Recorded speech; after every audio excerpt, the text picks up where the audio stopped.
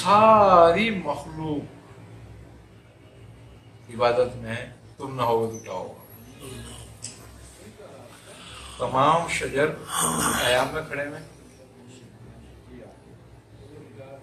तमाम चौपाए रुकू में है। तमाम हशरा सजदे में है। पहाड़ कायदे में तुम क्या कर रहे हो? तुम तो मुनाफी को भागे, फिरते हो इधर से वो तो हर वक्त अपने काम में लगे हुए तो उसको इसका मतलब है तुम्हारी इबादत की कोई ज़रूरत नहीं है। इबादत तो वो ये देखना चाहता है कि तुम उसके हुक्म को मानते हो या नहीं मानते हो? या उसको अपने अकल इस्तेमाल करते हो?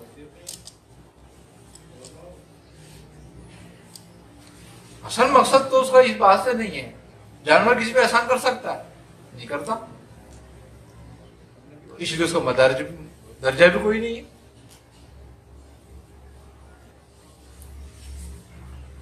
ऐसा इंसान का दर्जा ही एहसान की वजह से कि ये दूसरे पे एहसान करेगा। अपनी ज़रूरत को खत्म करके दूसरे की पूरी करेगा। इस बात पर है ये।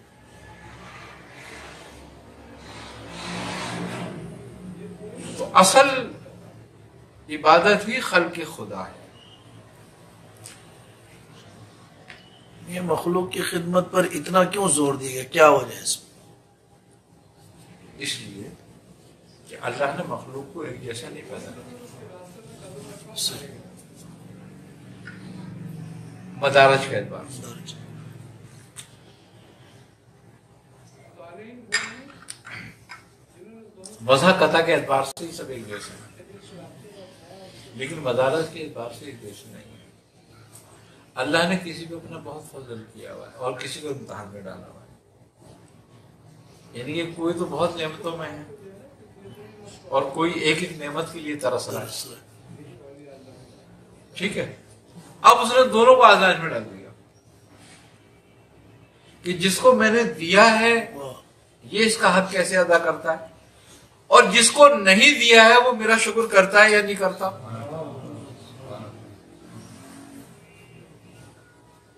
अब इसका हक अदा करना यह है कि जो नेमत इसको दी गई है, इसको तकसीम करे। उन लोगों में जिन पे नहीं है।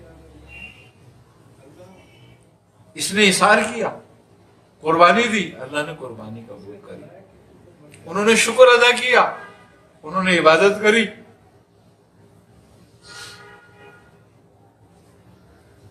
क्या? दोनों को दर्जा मिला। अल्लाह ने इंसान के दिल में दुनिया की मोहब्बत डाली।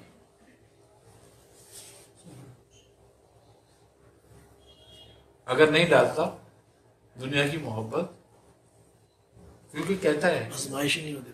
कि हाँ हमने तुम्हारे दिल में डाल दी।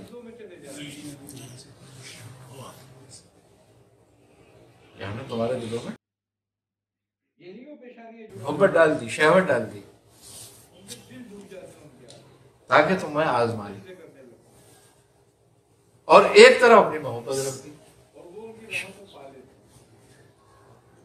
अब जब अपनी मोहब्बत डाल दी एक तरफ़ रख दी और एक तरफ़ दुनिया की मोहब्बत रख दी मर इख्तियार तुम्हें दे दिया दोनों को तुम जिसको चाहो अपना लो। इख्तियार कर अब वो इख्तियार क्या है? अब वो इख्तियार बनता है हमारे इस बात से कि हम उस बात को जानते हो कि हमें क्या अपनाना है। हमारा इस बात से हम बेखबर हैं कि हमें क्या अपनाना है क्या अपनी शहवत के पीछे चलना है या इसको छोड़कर कुछ और अपनाना है। तो इस बात को हमें पता नहीं था। सही।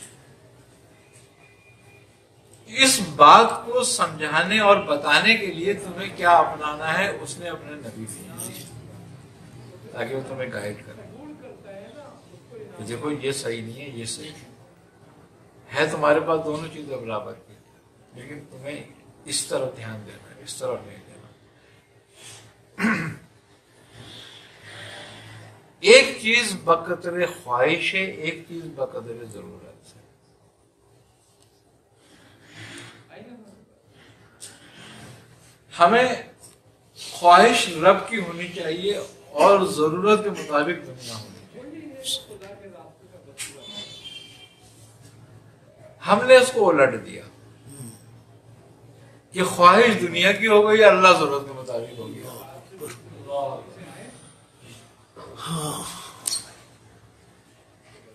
कि जब कोई काम नहीं तो चलो मस्जिद ही चलो। जी। या नमाजी पढ़ लें।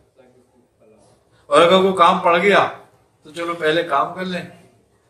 नमाज़ तो फिर भी पढ़ ही लेंगे। बहुत टाइम होता है इसमें। अब उसी में वो टाइम निकल जाता है। चलो आज निकल पड़ लेंगे। तो वो कुदरत, जो अल्लाह की जो मोहब्बत है ना, बकदर ज़रूरत हो गई। और दुनिया बकदर ख्वाहिश हो गई, इसकी ख्वाहिश हो गई, बढ़ गई, तलब बढ़ गई तो ये भी कर लूँ, वो भी ले लूँ, ये भी आ जाए, वो भी आ जाए, ये भी बन जाए, वो भी बन जाए। आई में बात? और फिर ये भी हो गया कि मैं तो अल्लाह का बंदा हूँ तो मुझे माफ़ कर दे, कर देगा माफ़। क्यों? कि तू मोहताज है, वो मोहताज नहीं। है। बेपरवाह तुझे परवाह है, अपने मालो बाग की मगर उसे परवाह नहीं वो सारे गुनाकारों को, सारे काफिर और सारे लोगों को अगर जन्नत दे दे तो उसके पास कोई ज़मीन कम है जन्नत की?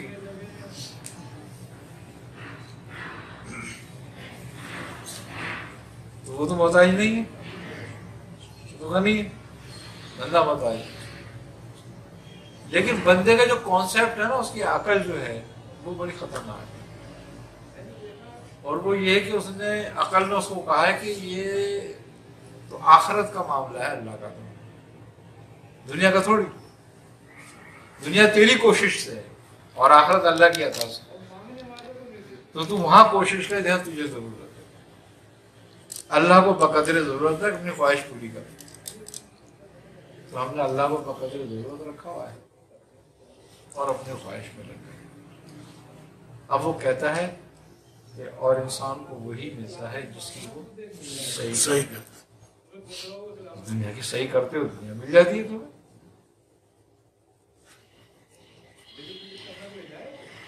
बताने वाले आए बताते रहे कि भाई ये तो तुम्हारे लिए है तुम्हारे लिए लिख दी गई है तुम्हें ही मिलेगी।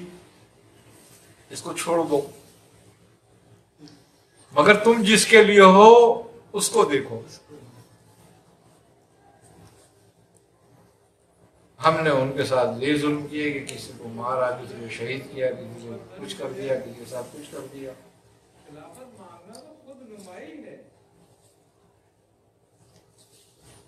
गुमराह है। तो पर अच्छा ये ईमान लाने के बाद भी ये समझता है मैं ईमान लाया फिर भी गुमराह है। क्यों? कि इसका कुफर नहीं टूटा। आज भी जब ये कलमा पढ़कर भी वही कह रहा है कि दुनिया की ख्वाहिश है मुझे।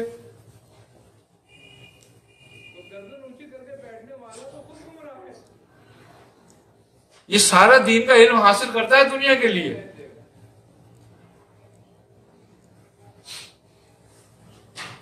जब सारा दुनिया, दीन का इल्म हासिल करता है दुनिया के लिए तो उसका मतलब है तू तो अभी भी काफिर का काफिर ही रहा। तू मुसलमान कब हुआ?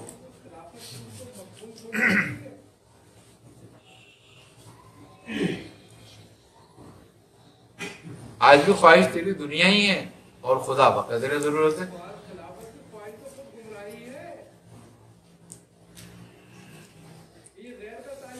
दीन दो बातों में चला गया तो कुफारे में और यह खैरात में।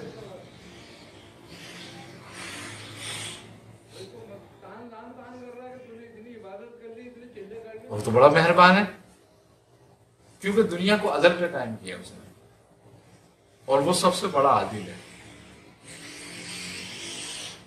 उसने वादा कर लिया कि यहाँ तुम्हें मोहलत दूँगा।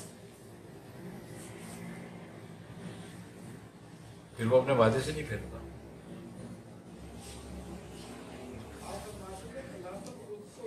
तुम्हारी रहनमाई भी करूँगा। तो नबी भेजता तुम नहीं माने वो गलत बात। फराउन की उम्र 400 बरस हुई हज़रत मूसा ने अल्लाह तबारक से कहा कि ए मेरे रब तूने इसकी उम्र इतनी बढ़ा दी जबकि ये तो बागी है। तो रब ने पता है मूसा को क्या? इसलिए चाहता है क्योंकि अना अब अंदाज़ा कर लो तुम इस बात का कि हम क्या कर रहे हैं? अल्लाह तबारक व ने हज़रत मूसा से फरमाया कि ये मूसा, जब इसके दरबार में कोई हाजतमंद आता है तो ये उसकी हाजत को पूरा करता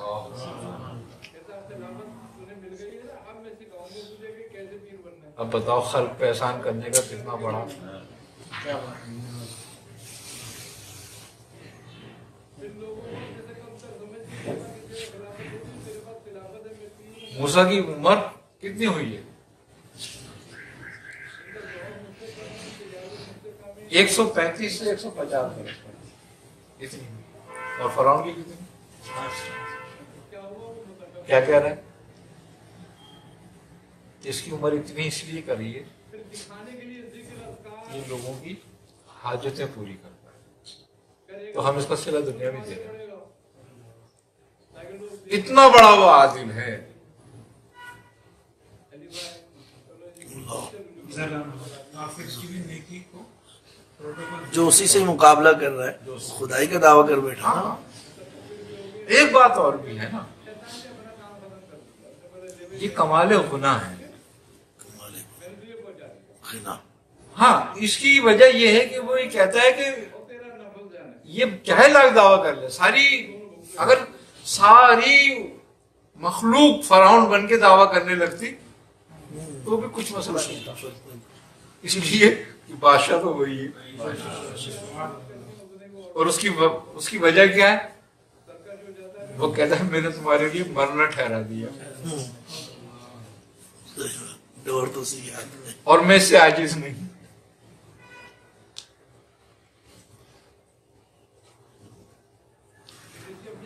तो जब तुम्हें मौत आनी है तो तुम्हारी बादशाह कहाँ रह गई वो जो कहता है वो तरीका से तो फिर करते रहो सारे साहब खुदाई का सारे खुदा मर गए? फिर वही खुदा बाकी रहा? मसला ये कि वो सच्चा है, वो हक है। तो वो बाकी रहेगा। तो इसलिए फिरौन की खुदाई क्या थी उसके आगे? उसको इस बात का बिल्कुल वो नहीं था गुस्सा कि फिरौन ने मेरे सामने खुदाई का दावा कर दिया। बल्कि गुस्सा तो उस बात पर हुआ उसको कि मेरे दोस्त के साथ ये ज्यादती कर रहा क्योंकि यहाँ बात है दोस्त और दुश्मन की। जो दोस्त का दुश्मन है, वो उसका दुश्मन है। वरना फराउन से कोई उसको नहीं था मसला चार सौ सालों करता रहा दावा उसने नहीं बोला कुछ लेकिन जब मूसा के पीछे पड़ा तो ले आके गरक कर दिया। उसको वो अपने दोस्तों की मुखालफत बर्दाश्त नहीं करता अपना उसका कोई मसला नहीं होता। जिस पर भी अजाब लाया है, अपने किसी नबी की वजह से लाया अपनी नाफरमानी वजह से नहीं लाया।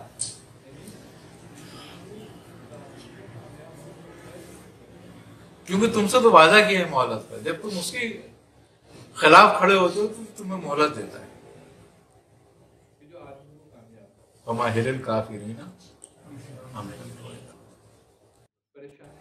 और वो तदबीर उसकी है, खुफिया तदबीर के साथ।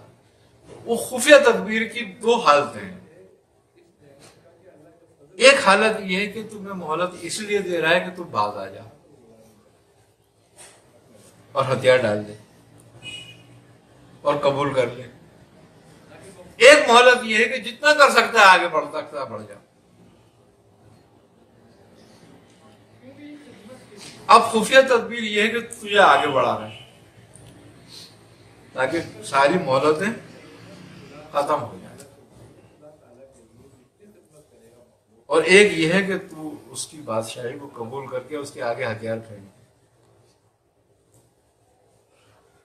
तो जब वो किसी को बख्शना चाहता है तो उसके दिल में ये बात डाल देता है। कि तू तौबा कर लिया। बहुत कर लिया। और वो तौबा कर लेता है। और वो दो बातों को कभी रद्द नहीं करता। कभी भी रद्द नहीं करेगा। एक जब तुम तौबा करते हो तो वो उसको रद्द नहीं करता।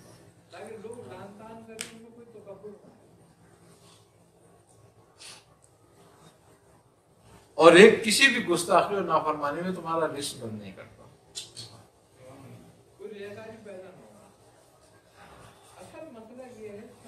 जब तुमसे नाराज़ होता है तो तुमसे सजदा करने की ताकत छीन है जब तुमसे नाराज़ होता है तो तुमसे सजदा करने की ताकत छीन है जब तुमसे नाराज़ होता है तो तुमसे सजदा करने की ताकत छीन अल्लाह